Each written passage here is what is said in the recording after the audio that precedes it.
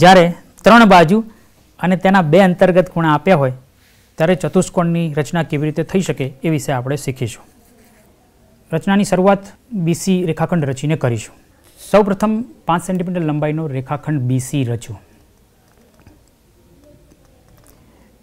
બી આગળ એકસો પાંચ અંશના ખૂણાની રચના કરવા માટે બીએક્સ કિરણ એવી રીતે રચો જેથી કરીને ખૂણો એક્સ બી સી બરાબર એકસો પાંચ અંશ થાય. બીએક્સ કિરણ પર એ બિંદુ નિરૂપવા માટે માપપટ્ટીની મદદથી ચાર સેન્ટીમીટર અંતરે બીએક્સ કિરણ પર એ બિંદુ દર્શાવો. સી બિંદુ આગળ એંસી અંશના ખૂણાની રચના કરવા માટે સી વાય કિરણ એવી રીતે રચો જેથી કરીને વાય સી બી બરાબર એંસી અંશ થાય. સી વાય કિરણ પર આપણું જરૂરિયાતવાળું બિંદુ ડી છ પોઈન્ટ પાંચ સેન્ટીમીટર અંતરે આવેલું છે. તેથી માપપટ્ટીની મદદથી સી વાય કિરણ પર ડી બિંદુ છ પોઈન્ટ પાંચ સેન્ટીમીટરે દર્શાવો.